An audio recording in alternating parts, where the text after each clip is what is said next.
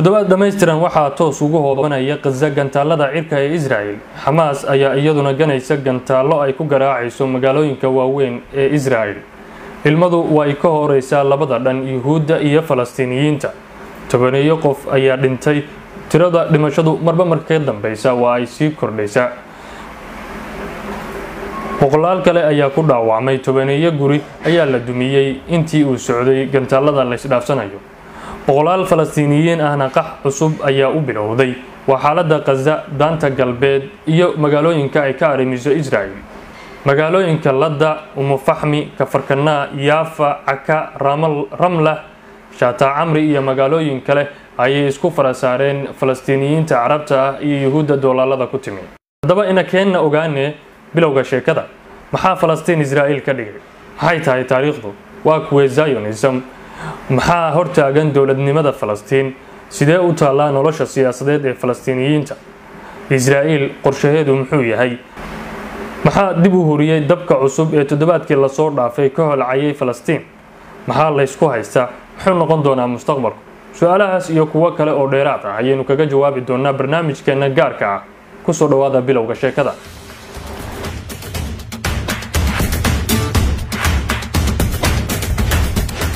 kadib jabkii ka soo gaaray cismaaniyiinta dagaalkii koowaad ee adduunka waxaa falastiin oo ka mid ahaa dhulkii ay ka talin jidhay la wareegay ingiriiska.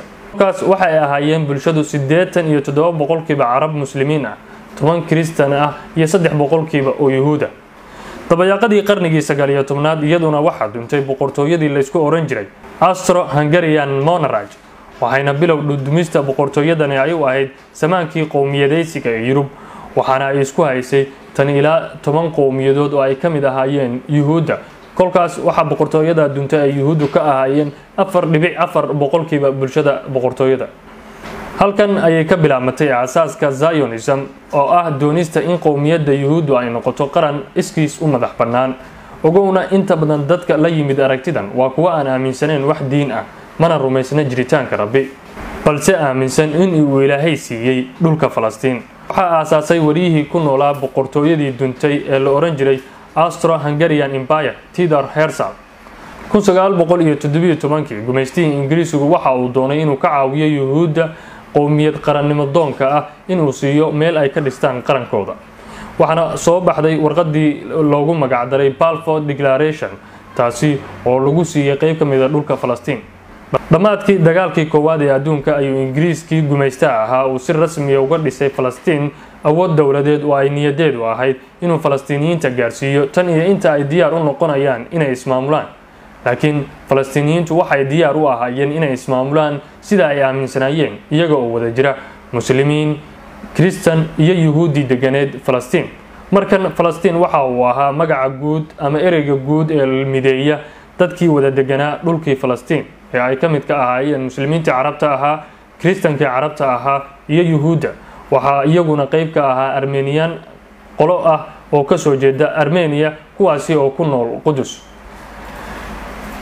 Balse ingiriiska ayaa ka dhex sameeyey ismaamullo yaryar oo ay kala leeyihiin yuhuudda muslimiinta iyo kiristanka si ay ugu adkaato inay israacaan oo uu kala kulmo iska caabin iyo iska caabin iyo kacdoon.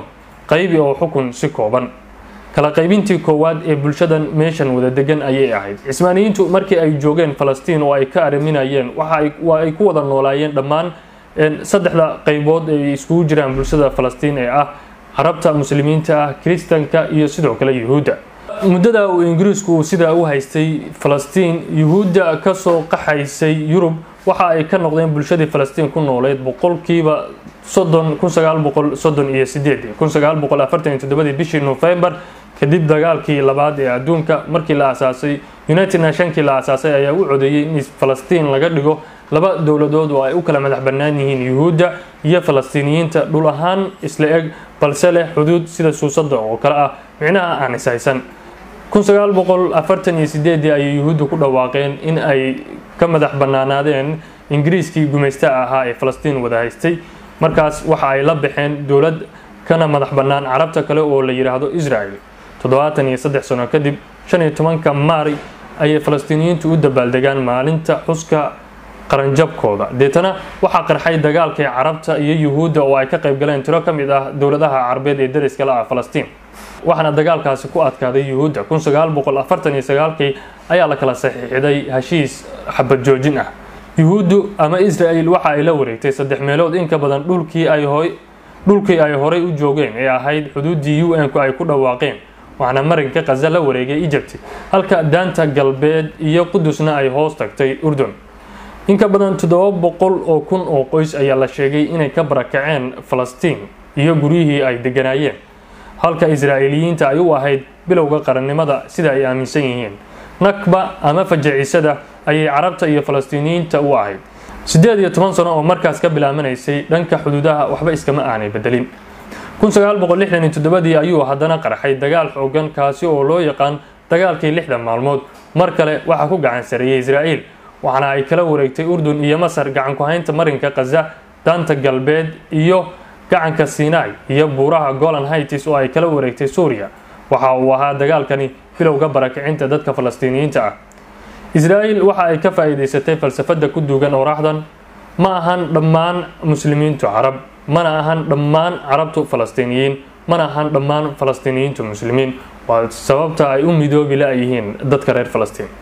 Boqolaal kun oo qof ayaa laga saaray guryahoodii waxaana la wareegay dad markaasi yuhuud ah oo ay dowladdu ku dul ilaalinayso inay ka qaadaan dhulkooda ama guryahooda dadka falastiiniyiinta ee xaqa u lahaa inay sii joogaan. Iyada oo lagu bartilmaameedsanayo cidda ay yihiin qowmiyad ahaan maxaa daray haddaba dabkan cusub ee hadda ka jira toddobaadkii la soo dhaafay falastiin gudaheeda. Sababo badan ayaa daaray laakiin waxa ugu weyn baqdinta ka timid gacdoonka falastiiniyiinta ee looga soo horjeedo in laga barakiciyo lix qoys oo deganaa xaafadda la yiraahdo sheekh jaraax ee ku taala magaalada qudus sidoo kale mudaharaadyada ka bilowday caradii ka kacday in israa'iil ciidankeedu ay xidhaan albaabka dimashq ama albaabka guusha ee laga galo magaaladii hore ee qadiimiga ahayd ee qudus tan labaad isku aadka taariikhaha. Yuhuudda waxa ay jimcadii ugu dambeysay ee bisha ramadaan ay ugu beegneed inay xusaan maalinta qudus oo iyaga agtooda qiimo diineed ku leh. Dhanka kale muslimiinta waxa ay ku jireen tobankii ugu dambeeyey ee ramadaan iyo sidoo kale habeenada la raadiyo leylatulqadriga tan saddexaad waa siyaasadda. Waa fashilka ku yimid netanyahu xisbigiisu inuu soo dhiso golaha xukuumadda. Markii shanaad waxa uu ku fashilmay inuu aqlabiyadda baarlamaanka uu ku guuleysto dhanka kale waxaa iyaguna kala qaybsan falastiiniyiinta.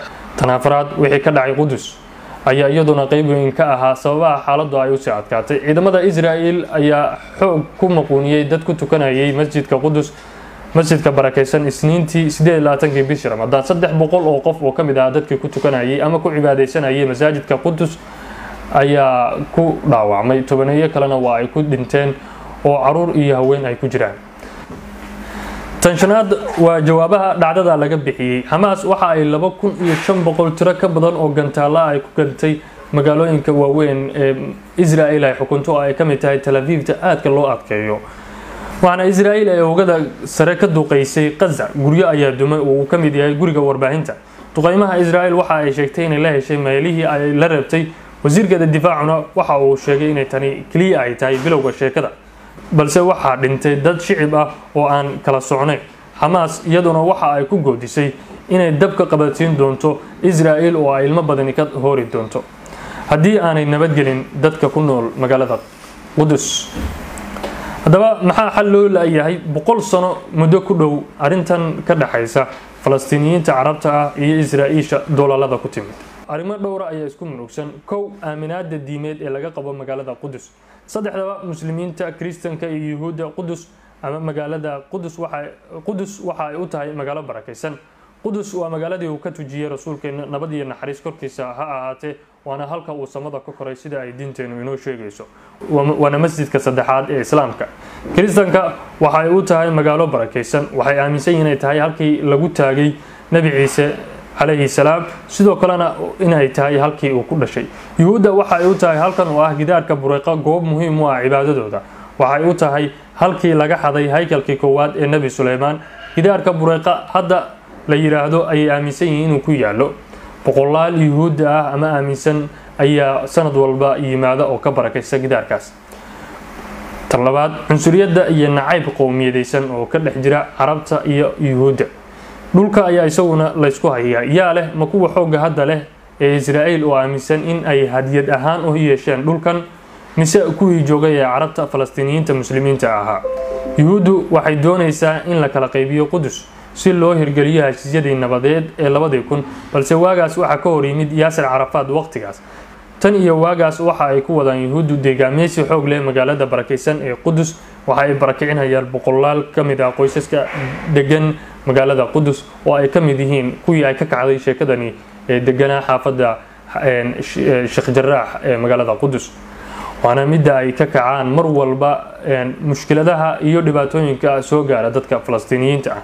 Midowla-aanta ka dhex jira muslimiinta iyo kiristanka falastiiniyiinta isku wada. Ah xamaas iyo alfatah oo aan isku mowqif aaminsanayn iyo ururada muqaawamada ama ururada muqaawamada ama gobonimo dirirka oo aan iyana wada socon goobta ay ku taalo iyo cadiyeynta cusub ee kala dhexeysa israa'iil iyo carabta ayaa iyaduna saameyn weyn ku sii yeelatay sanadihii u dambeysay inay xaaladdu ay sidan ka sii dadho mar walba. Muxuu noqon doonaa dhammaadku. Lama yaqaan lamana saadaalin karo sababtoo ah daraf walba dagaalka iyo inuu awood ku muquuniyo kan kale ayuu door bidayaa.